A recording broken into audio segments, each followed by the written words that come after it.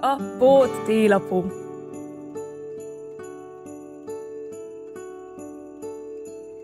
Gondolkoztál már azon, hogy milyen jó dolga van a Mikulásnak? Egy évben egyszer dolgozik, folyton zabál, nem kell figyelni a kalóriákat, nem is kell fárasztó edzéseket végigcsinálnia, nem törődik a narancsbőrrel sem, mert ott az északi sarkon mégis kilátja.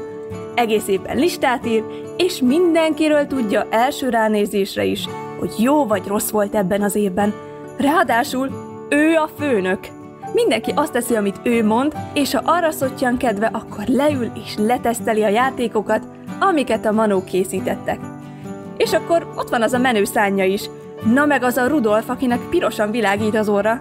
Na de mondjuk azért jobb lenne szán helyett egy Ferrari vagy egy Lamborghini. Na de a Mikulásnak is vannak határai. Milyen szép is lenne az élet.